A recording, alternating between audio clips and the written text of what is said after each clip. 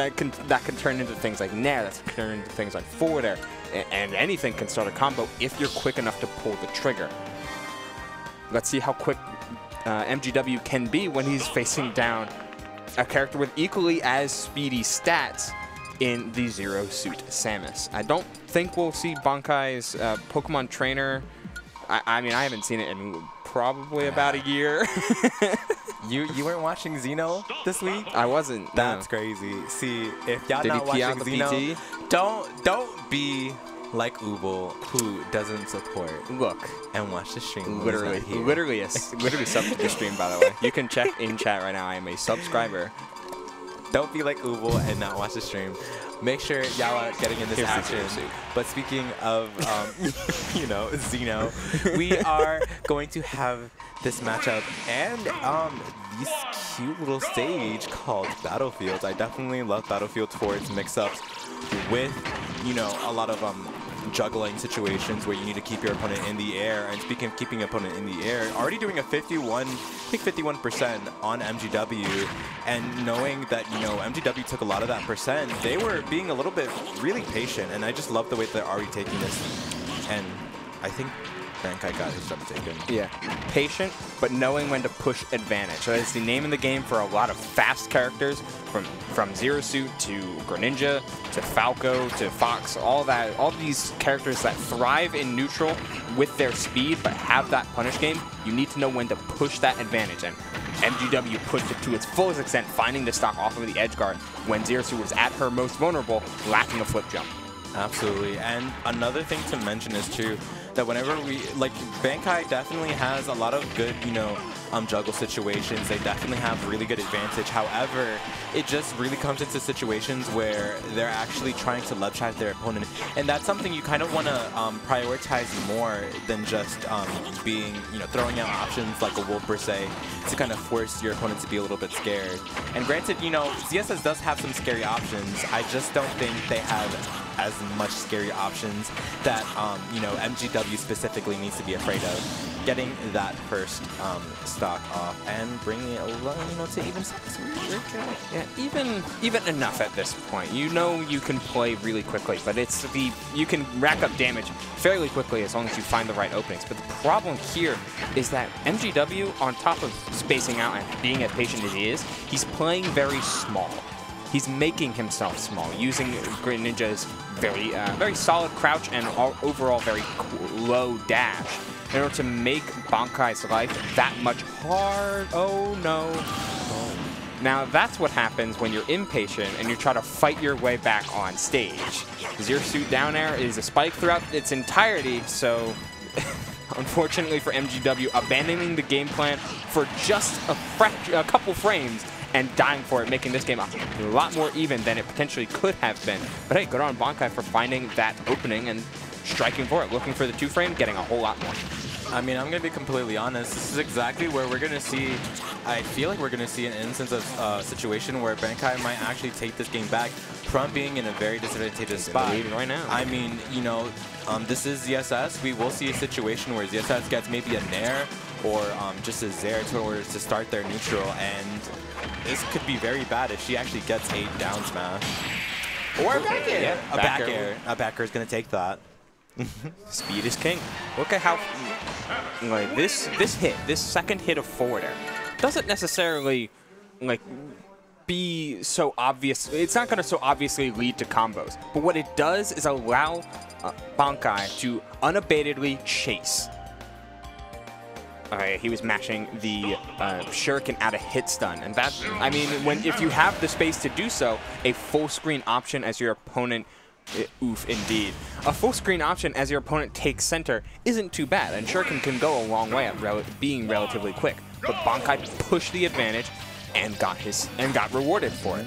And speaking of advantage, I definitely love this stage choice coming in from MGW here, going to Town and City, and the reason why I like this is because the kind of small space that um, was this type of situation in that last game was kind of what um, made them downfall of MGW. They didn't really have too many situations in order to just be like, okay, I think here is when I want to run in because right now it looks like Bankai wants to actually use air or Nair, like a lot of situations, because you can't do that on a stage where there's three platforms and three platforms make it all that much easier to land a fair, a back air, uh, Nair, even more things than they would normally be able to land if it was a stage where it's um, Town City that can also um, have less options for Bankai to land with. Yeah, having that uh, fundamental shift in stage going from the the triplat layout to basically what is like FD to Kalos to uh, the FD the FD transformation into a northern cave just kind of puts MGW in a really good spot stage-wise for the very least two-thirds of the time.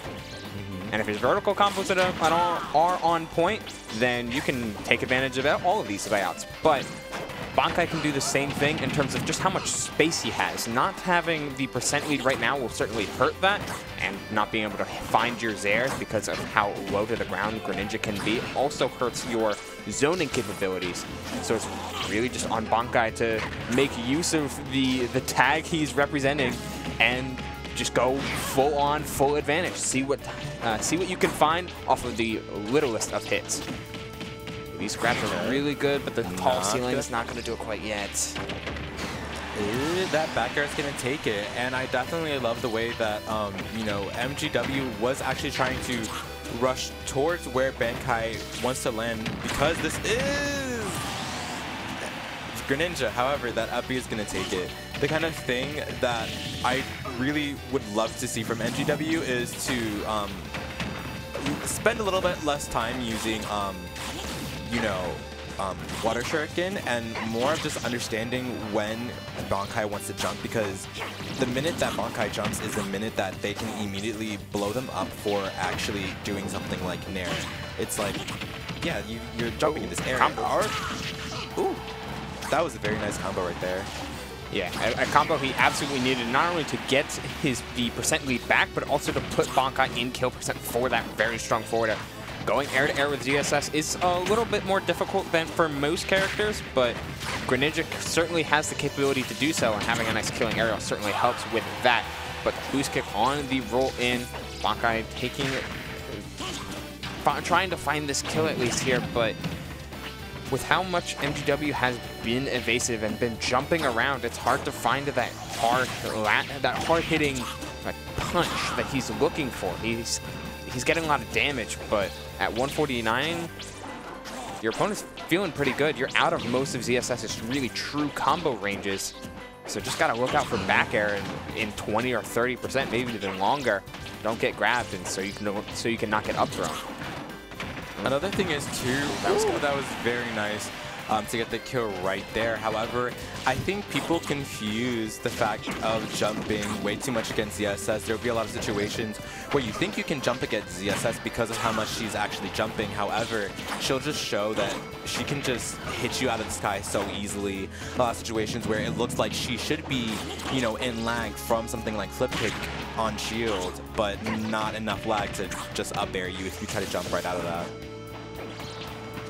It's it's a rough kind of go around to try and counterplay a character that is so fast. But I like MGW's approach to it, right? He's he is jumping, he is full hopping around in order to look for fairs and look for nairs and start like getting uh, some sort of combo tree started. But most of the time when he's jumping, it's the water shuriken and it's to stall so that he can find himself back on the ground and he can get these punishes that he knows that Bankai is going to do. More often than not, Bankai, when on the ground, he's been committing to some pretty large hits. He's been going for things like up smash to see if he can counter a jump, but not doing and finding the fair on the roll in. A solid read from MGW, who looked like he had a beat towards the latter half of that game because that whole this whole series started with that back air right there, a back air on the flip jump that he knew was coming and was able to pun uh, properly punish, leading to the kill. Absolutely, for sure that was just a really good showing in from MGW. You know, when they actually did have the lead, they played how like they said they wanted to play. They wanted to just not really interact as much because it's it, it, it's something that you know they're trying to work on, and I really love them showing that right there. It is a, it, I mean, it was good play. It's good, solid counterplay. You would see him blocking the flip jump and trying to punish the lag after it would hit his shield, which is the best time to punish a move like that. But we're going to small battlefield. Now, this is a this is a bit of an interesting counter pick, but one that uh, one that Bankai had uh, just kind of looks familiar with. I mean, if you like battlefield more often than not, you end up liking small battlefield for similar reasons. But without that top platform, it may end up serving MGW a little bit more if he plays his cards right. Absolutely, for sure. But I also think that, um, you know, Bankai also wants to use this to the point where they can actually have a little bit more um, options, like that runoff backer that we saw right there, trying to open up MGW. Yeah, but kind of getting opened up here where he is without his flip jump. Does have his double jump, though, and that was all he needed in order to get out of the corner and back into center. It's, it's incredible watching this match and how much gets uh, how much gets taken off the table from Zero Suit when you shut down or limit her Nair. Uh, excuse me, not her Nair, her Zair. Without Zair finding its mark in many of these instances because Greninja is so fast and so elusive, you're not getting poked out. You're not getting zoned by Zero Suit. You're not getting your momentum stopped by a minus two move. You're just able to keep the keep the formless offense, to use his tag, going and keep laying that game without a without a blonde girl poking you in the mm-hmm. face. um, but for sure, this looks like a lot of just moves being used in neutral. But I honestly really do love the way that Bankai is actually just using their um, Zair a little bit aggressively. They know how many times, you know, as much as um, MGW actually wants to spam, you know, Water Shuriken and spam their areas at a lower space. They want to get these there so they can get a back air like there, but talenting immediately is MGW taking that stock, making this extremely more, um, you know, even. Wow, a mashing up tilt out of the uh, out of the initial hit. I mean, that's another frame three move in Zero Suit's arsenal, though not a commonly used one, since it doesn't usually lead to much. It's exactly what you needed right there, though. It looks like MGW starting to get his Vortex going, not able to find his proper uh, his proper starters and the follow-ups that he was looking for afterward.